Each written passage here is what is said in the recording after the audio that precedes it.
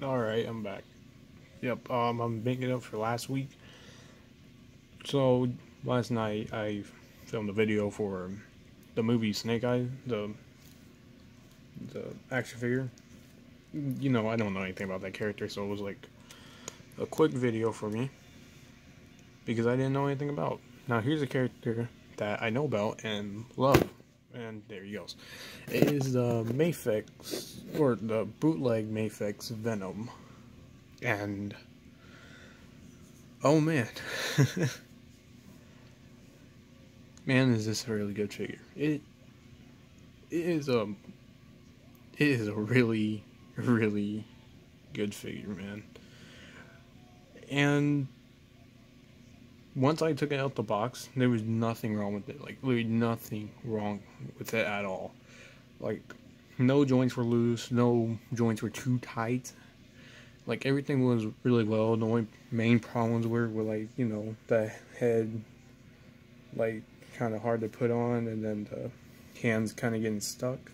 But, you know, that also comes with, like, the regular, that's just a regular thing for action figures. Like, Oh no, a head's um too tight for the too tight to put on or like too you you know, you know like you kind of struggle at first because these weren't on in the package with everything so you know. Sorry i'm over here fixing hands right now. Like just sorting them because i didn't do it but anyways, so once this came out the package, it was it was really well. I, I loved it. It's it was kind of like the comic book Deadpool, but even the comic book bootleg Deadpool had some problems. Like some parts were loose, some parts were a little tight, and it got loose pretty fast, and some paint came off. Now this one I have had for a while now. Okay, not a while, more like three days, and it's still really it's no good. Like it hasn't gotten loose or anything. So whoever made this bootleg either really paid attention to the Mafex quality, Mafex, whatever you want to call that company. Either really paying attention or love Venom, or they they did they didn't mean to do this on purpose. But overall, this is probably like the most perfect bootleg I got. Um, I don't know how it scales. I don't know if it scales well, and man, it's just really good. It was kind of like the comic book Spider-Man that I had, which I repainted, so I'm gonna get another one. I don't know when, but anyways, yeah, that's just the story of like first day I got it. How how is it? How, how's it doing? It's really doing well. All right. Um, I don't know what really to talk about because I kind of forgot how to make videos. Yeah, I, I kind of forgot how to make fucking videos. But let's go over the design. So the lines are actually pretty well painted. The eyes, there is like some spots that seem like they need a little bit more paint, but it doesn't bother me that much because from afar you can't really see all the paint that, all the little dots that are there. The um, hands are really well sculpted, nothing's wrong with them, even the white, nothing much is wrong with them, there's a few little spots. But the main problem is mostly Eddie Brock's head. But of course, you know, heads on bootlegs doesn't, doesn't really get painted well unless you have like a mask on. So like the mouth is not that hard to paint. Here, let me show uh, bootleg Superman. Oh, his face. So I have the angry head sculpt on, and as you can tell, yeah, it's not sculpted well. It's painted awful. It's it's not a really good head sculpt. But that's also going for real. This is comic.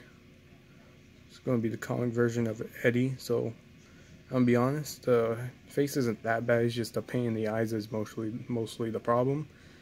But overall, it's actually not a bad head sculpt. Now scale, it is pretty. It is smaller than like a Marvel Legends and maybe smaller than the actual Mafex one. But it's not too bad. It probably goes well with Toy Biz or certain Toy Biz. Like here's a Toy Biz Daredevil. This is a smaller version, or like it's a smaller type figure than the modern Hasbro one.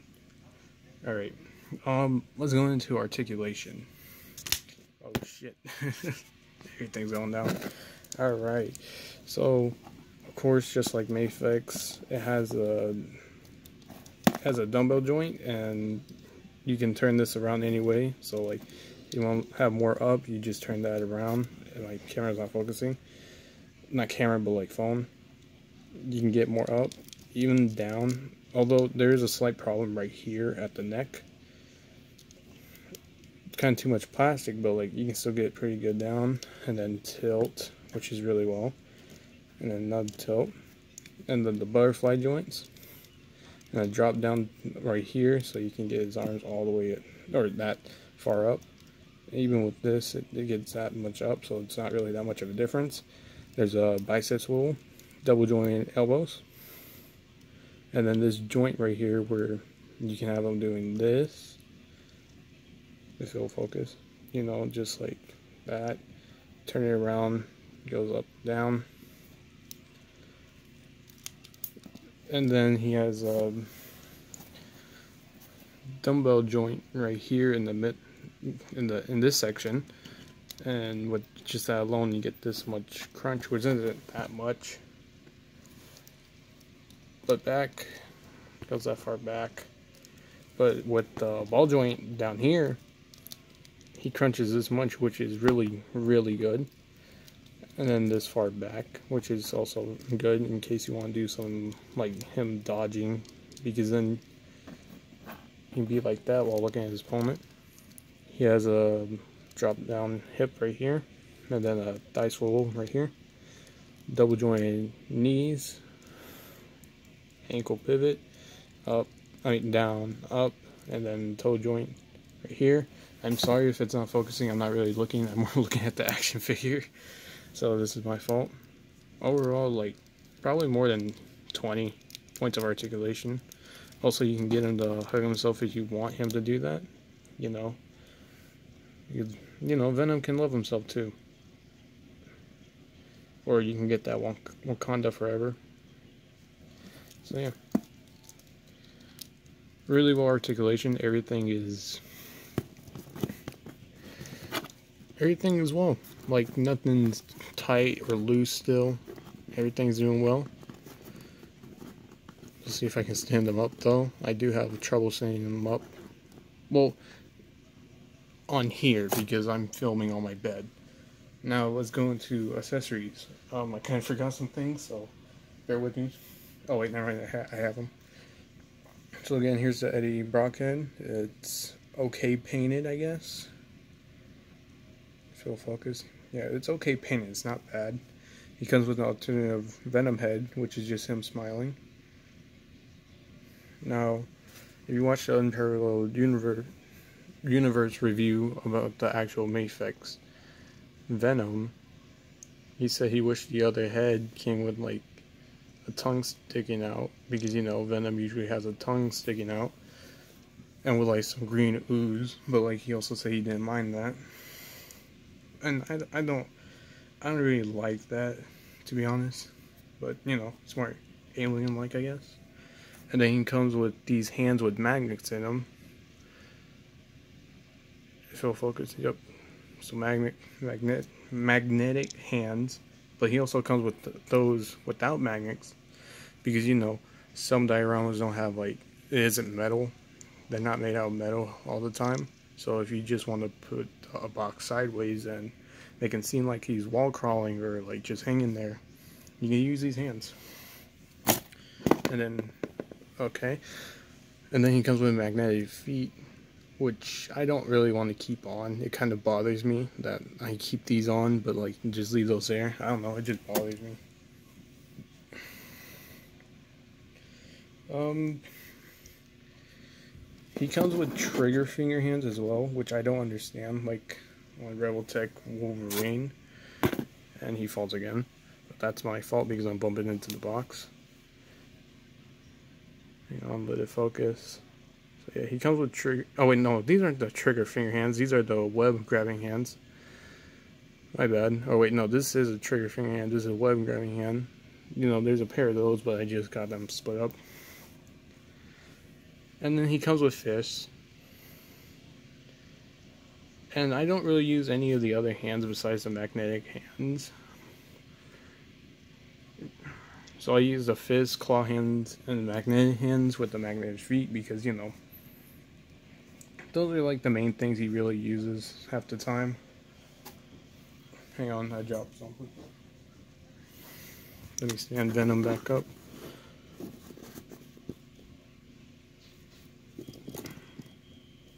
Alright. So he comes with like four webs, but like, you know, they're mostly the same.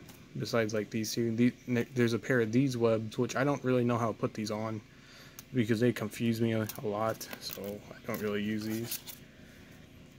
And then he comes to these other webs that like, you know, since he doesn't need like web shooters or anything, he just goes like this, he makes a fist, bends his thing, and then webs come out. Or sometimes like this, I don't know, kind of depends. And I like these. I, uh, I can't really use them for anything else unless I get a symbiote Spider-Man, but like, these are really good. I like them. And that's it for like accessories. I guess I can do scale since I have like a pretty good amount of time left. Although I still need to get my clothes out the dryer. And I still need sleep because I have school in the morning. But, you know, I don't really like school. It's really boring to me. But, yeah. Okay. Let me just raise this up real quick and he, as he falls over. Just raise up, please. Alright. So just stand him up real quick. Alright, here's uh here's the Hasbro movie Snake Eyes. And as you can tell, Hasbro always scales a little bit more than 6 inch. Now, I don't know if this is like true 6 inch Venom, like the Mafex one. But, or like the actual Mafex one, but you, you know. And then here's a Marvel Legends Gambit, which I will review next week, or this week. Does he scale well with Marvel Legends? No, I will say no. But it's a good figure if you want that figure. Now here's the bootleg SH Figuarts um, stealth suit Spider-Man from Far From Home. Um, he's kind of crunch forward. And I think he scales well with SH Arts, in my opinion. Now, yeah, that's not the actual SH Arts, but like, you know. Here's Old Man Hawkeye from the Old Man Logan 2 pack. And then here's the Marvel Legends Deluxe, or whatever they call it. God, it's hard to get But they don't. This is a different type of Venom. This is like the 90s Venom first appearance, you know, all that goodness. So, yeah, this is a big figure. Not the biggest one I have, but like, you know. And to get off like Marvel stuff, here's the NECA King Kong. He's not standing up all the way, but he's he's bigger than this Venom. We already know that. And final one, here's Webman. And I, I like this Webman, I really do. I think I might dig down into a little bit of Webman. And that's pretty much it for this review. I mean, I love Venom. He he is one of the best Spider-Man villains. He definitely needs a new Marvel Legends figure and body. I mean, the body they put on him kind of fucking sucks. I mean, the new one, you know, the Omega Red body, that's that's a pretty good body, but they left the fucking holes, which I think that was like the stupidest move ever. Like, why the hell would you do that? Why would you do that, Hasbro? You know Venom is like top five. But you fucking leave shit on an important character that will actually sell for once. Like shit. but anyways, yeah, Venom good villain.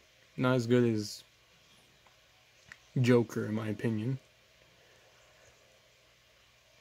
Um, I was never really a big fan of Green Goblin, but like William Dafoe's performance kind of changed my mind. But like, uh, I don't know.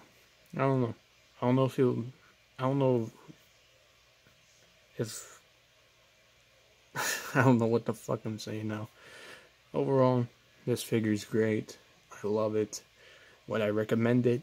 Maybe it's still on Amazon. It's a, it's a good figure. It it costs a it costs like some probably forty bucks. I'm because you know it's a bootleg. It it, it replicates like Mafex.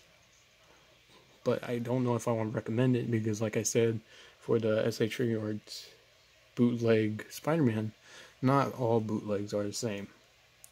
Now, I'm going to end this video right here because I gotta get my clothes. Anyway, I'll see y'all next time. Hope y'all are doing well and hope your life is going really good so far. If not, hopefully it gets better. Hopefully you have nice dreams, have a good day, have a good evening. And just be positive. Because, you know, you don't know what people are going through, and you know you're probably going through many things, but you you get it. Just be positive. Alright, peace.